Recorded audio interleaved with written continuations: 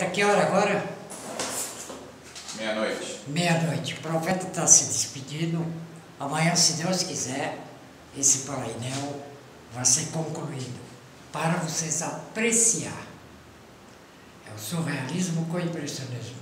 Ou melhor dizendo, objetos estranhos não identificados. Profeta das coisas.